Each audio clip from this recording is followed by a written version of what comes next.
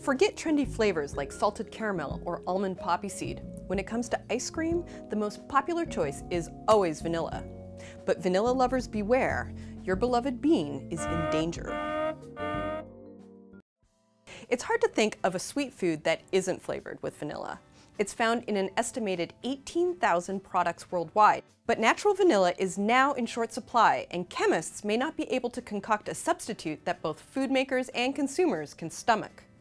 The story of this vanilla apocalypse begins in 16th century Mexico, where Spanish explorer Hernan Cortés witnessed the Aztec Emperor Montezuma drinking a chocolate beverage flavored with vanilla. News spread and people worldwide began jumping on the vanilla bandwagon.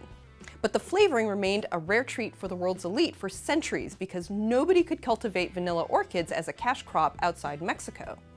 The dainty flowers relied on local bees for pollination. That is until 1841. Enter Edmond Albius, a 12-year-old boy in the French colony of Réunion near Madagascar. Edmond figured out how to hand pollinate the vanilla orchid using the most quintessential of childhood tools, a stick. The stick method gives pollen a friendly push towards the part of the plant where reproductive magic happens. Thanks to this technique, output of vanilla in Réunion soared and its cultivation spread to nearby Madagascar. These days, about 80% of the world's natural vanilla comes from small farms in Madagascar that still rely on the old school stick method to catalyze a little vanilla romance. Through the 1800s and 1900s, chemists came on the scene and developed methods to synthesize vanillin, the main flavor compound of dried or cured vanilla beans. Chemists have crafted vanillin, starting with eugenol and clove oil, ferulic acid in rice bran, and even coniferyl alcohol from spruce tree lignin. But petrochemicals provide the most important precursor.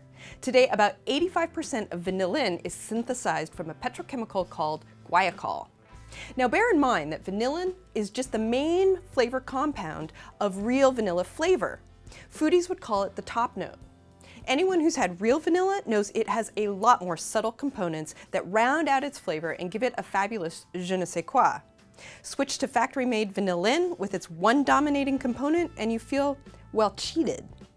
Still, most store-bought products have used synthetic vanillin over the years, with the exception being dairy products.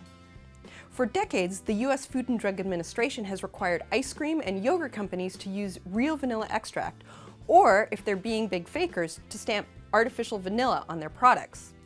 Given the rising consumer disdain for synthetic flavors, most companies opt for the real McCoy.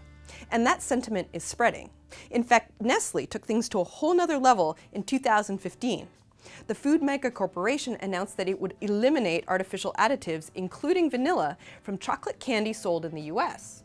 The other food bigwigs, think General Mills, Hershey's, Kellogg's, soon followed suit.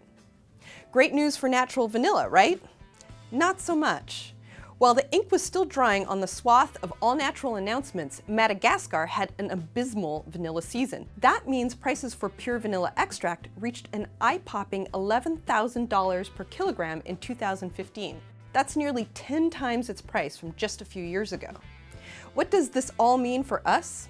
Unless the vanilla goddess smiles upon us and improves crop yields, there will not be enough vanilla beans in the world to satisfy global demand. Some scientists are trying to figure out which genes vanilla orchids use to build the enticing suite of flavor compounds found in real vanilla beans. Researchers could then perhaps insert those genes into microbes or other plants to produce vanilla's desirable flavor profile.